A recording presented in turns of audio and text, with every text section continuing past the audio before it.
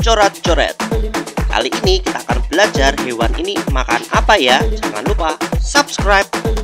Makan rumput atau daging? Ada kuda, ada hiu. Siapa yang makan rumput? Ya benar, kuda. Ada zebra, ada anjing laut. Siapa yang makan ikan?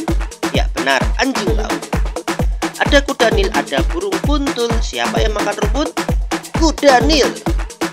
Ada sapi, ada lumba-lumba. Siapa yang makan rumput? Sapi. Ada macan tutul dan ada kanguru. Siapa yang makan daging?